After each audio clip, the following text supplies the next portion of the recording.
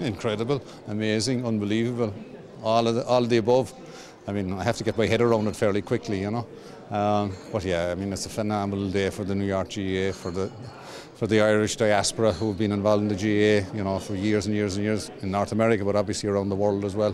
And arguably a good day for the GAA here as well, you know. Yes, I am from Cork, right, and I'm based in New York. It'll give recognition to an awful lot of people doing an awful lot of work around the world um, in a whole host of areas, from you know, from Asia to Australia and back to the more traditional places like London and Birmingham and, and Chicago and, and Boston, for instance. It will. Seven weekends in a row in Ireland the month of November I was in San Diego, I was in Munich, I was in Abu Dhabi, I was in Montreal, and I was in New York. So a lot of air miles.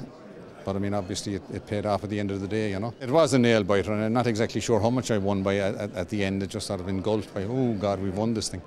It was tough on Jim Bolger to be sitting up there as well as tough on me to be sitting up there. I mean, obviously, I came out at the end, so I mean, you know, it was, it was a good result. It was absolutely fought in good spirits. We crisscrossed paths with each other up and down the country and you know up and down England as well in, in, in, particular.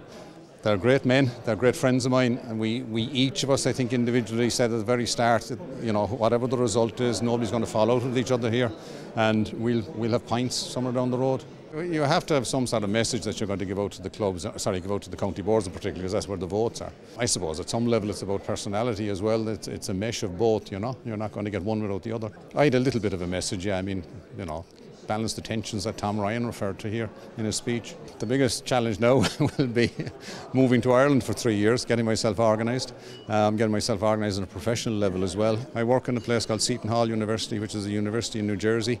Um, I teach in the School of Business, um, so we'll have to arrange a sabbatical now for three years. But I, look, I haven't tempted fate in terms of trying to figure out what the logistics of it are, and neither have I tempted fate in terms of buying houses or looking at any accommodation here in Ireland at all. So that's all going to come down the track now fairly quickly.